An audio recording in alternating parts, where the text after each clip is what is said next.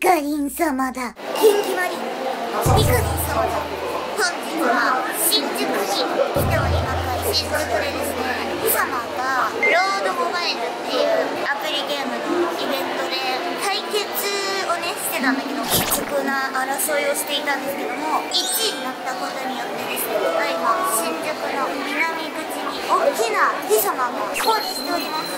南口内に何個もピ様の大きなパ降臨してい。るので期間がですね11月の13日までぜひぜひ都会の子たちはここに来て13日までにピ様と一緒に写真を収めてい。ただきたい。ですピ様を刻み込んでください。君の中に本当にローモバ1位おめでとうでしたありがたい。ですローモバのギルド名うんこってい。うギルドでやらせてもらっててピ様は基本的にゲーム名はスプラもローモバこマンだよっていうことでやってるんですけど、リーダーのうんこマンに皆様が素晴らしき忠誠心と愛を見せてくださり、無事一致を勝つことができました。